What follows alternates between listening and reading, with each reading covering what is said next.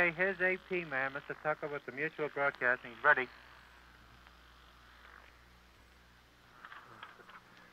This is George Tucker, Associated Press, transmitting Associated Press copy from Nuremberg, Germany, via Mutual.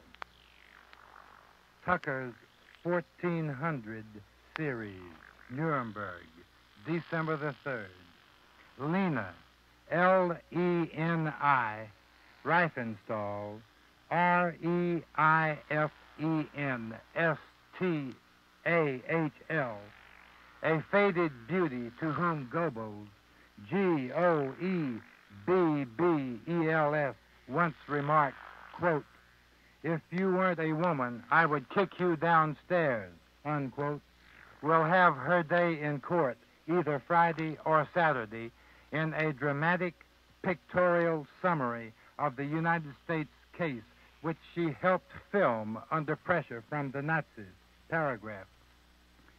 The once stunning actress and producer who starred in, quote, The Blue Light, unquote, and, quote, SOS Iceberg, unquote, told interrogation officers that Hitler hounded her from 1933 on to assume charge of the Reich's film industry, but she refused in order to retain her freedom as a creative artist. Paragraph. Hitler badgered her, she said, inviting her to tea and saying, quote, I have great respect for your knowledge and believe you could accomplish much in the organizational field, unquote. Paragraph.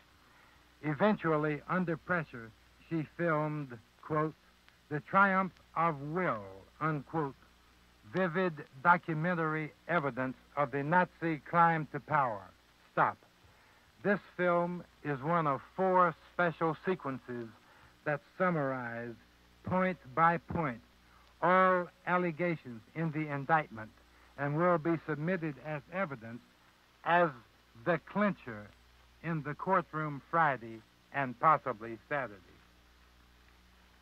It was this film that Jackson, J A C K S O N, had in mind when he pointed to the defendant's box on opening day and said, quote, These people were so vain they documented themselves on film, unquote, paragraph. The picture reveals von Schirach, V O N S C H I R A C H, pleading with the Hitler Youth to, quote, make Mein Kampf your Bible and follow its precepts, unquote. It shows Rosenberg, R O S E N B E R G, as a restless philosopher decanting the Nazi creed and exhibiting catalogs which itemize his stolen art treasures. Stop. All 20 defendants are pictured in incriminating circumstances. Paragraph. Frau Reifenstahl has been living with her husband, a Wehrmacht officer, in a chalet in the French zone since the end of the war. Stop. She said she first realized the film world had boycotted her when she visited the United States in 1938. Paragraph.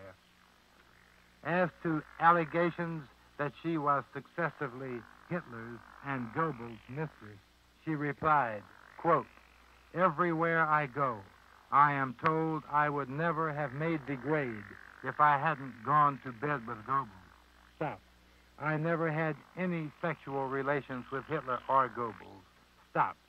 My reputation was made before the world ever heard of either. Unquote.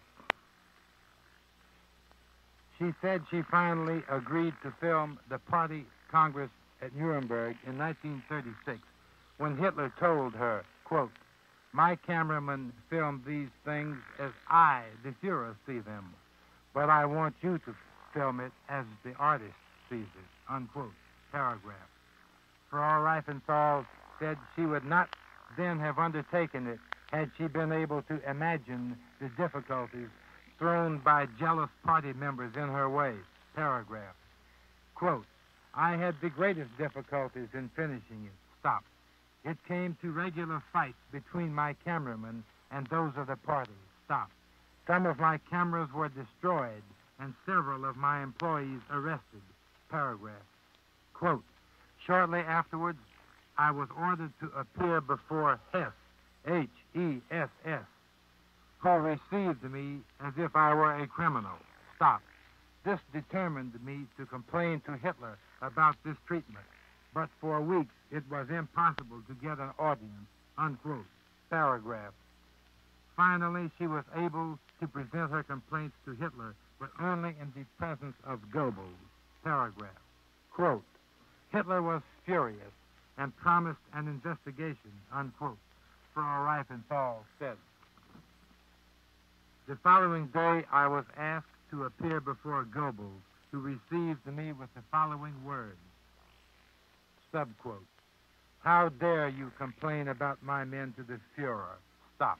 If you were not a woman, I would throw you down the staircase. Unsubquote, unquote, paragraph.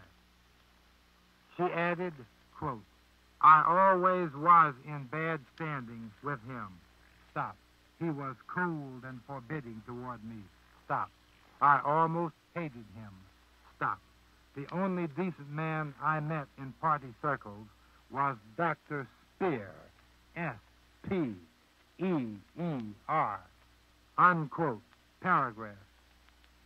She never dreamed, she said, that all the suffering she went through in documenting the party congress will one